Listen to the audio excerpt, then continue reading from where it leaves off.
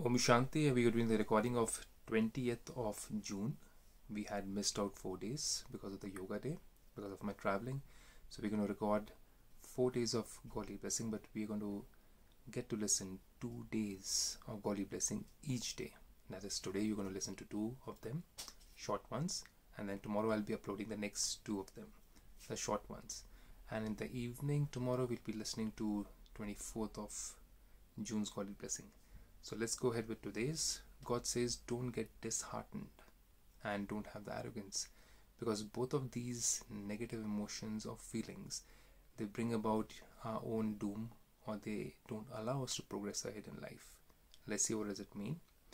God says, May you become free from disheartenment and arrogance and carry out the task of renewal with humility. Never become disheartened in your efforts. I have to do this. I have to become this.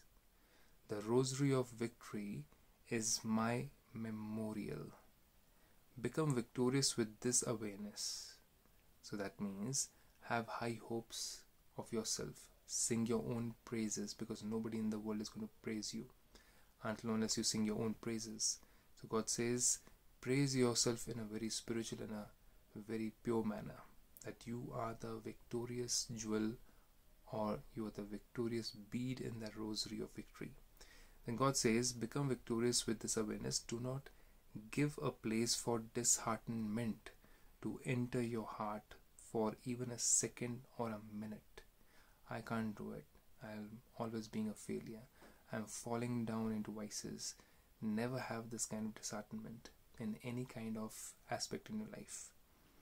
Then God says, both arrogance and disheartenment do not allow you to become strong.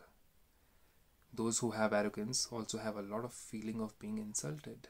So, even a simple thing, if someone tells us and if we feel insulted, that means we have big problems of self worth, big problems of self esteem, self value, which we should develop with the help of affirmations very powerful, very, very pure formations. We should guard ourselves, our true selves, and separate it from the fake self, and then protect that pride which you have attained over a period of experiences and time.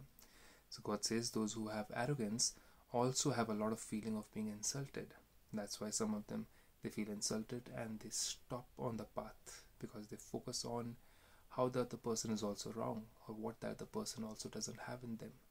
And that is the arrogance of finding faults. And that's where we focus on others and not on ourselves and we stop progressing in life. So God says those who have a lot of feeling of being insulted also don't progress as ahead in life. Therefore, become free from both of these and you will then be able to carry out the task of renewal, renewal of the self and with the self change there'll be change in the world. And that is what we want to do. That is what god wants us to do. How do we do it is what we learn in brahma kumaris and the most important thing is removing of arrogance and at the same time removing of any kind of disheartenment is what it means to have self renewal with this om shanti